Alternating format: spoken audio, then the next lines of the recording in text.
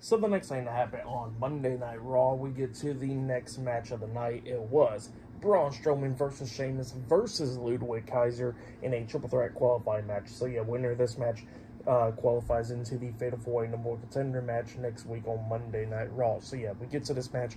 In this match, it was a pretty damn good one. Uh, now, Strowman starts taking control of this match at one point, had Kaiser up against the barricade. and He tries to run into Kaiser through the barricade, but Kaiser moved out of the way, so Braun Strowman runs through the barricade. And then at one point, Kaiser was uh, trying to set up, I guess, that drop kick move into the steel steps on the Sheamus. So when he starts running around the ring, he gets hit with a flying chair from Braun Strowman.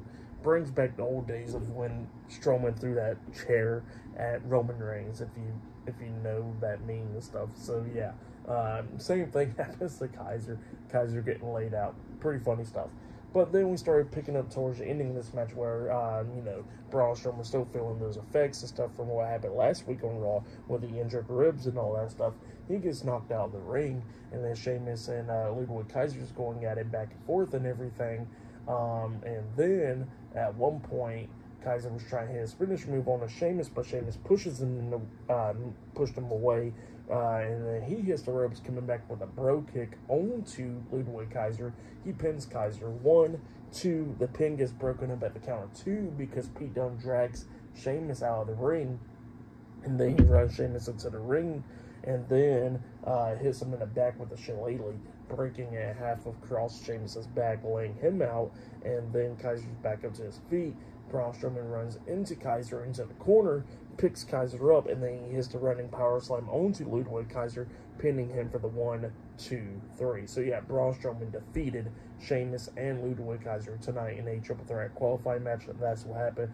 So yeah, next week on Raw it will be Jey Uso versus Ilja Dragunov versus Pete Dunne versus Braun Strowman in a fatal four-way number one contenders match. Winner of that match will determine who will be the number one contender for the Intercontinental Championship next week on Raw. So yeah, that's what happened there. Great triple threat match for that match. I'll give it three and a half stars.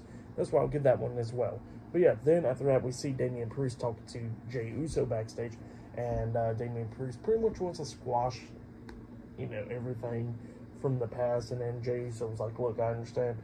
I, I was the same way as you. I have family to protect. Same for you." So yeah, that's what he says there. Squash the beef.